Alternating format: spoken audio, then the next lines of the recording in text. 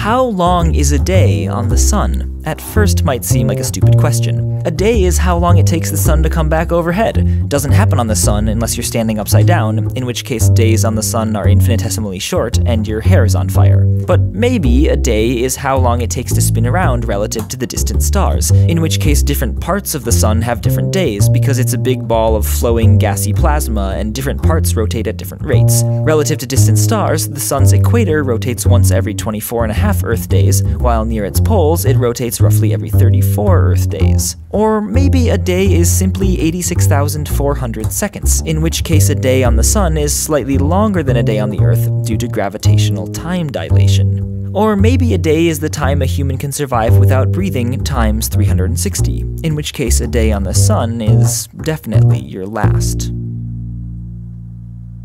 I just want to take this opportunity to thank you for watching Minute Physics. It's been about five years now since I started making these videos, and I still can't believe that I get to do this for a living. So, thanks for watching.